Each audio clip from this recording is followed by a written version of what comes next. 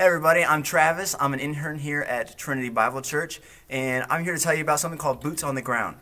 We're asking all of our missionaries to make a one minute or less video, kind of like this one, to tell us what's going on in your life, how can we pray for you, give us a little snapshot, a little glimpse into your world. From my world here, here's the sanctuary.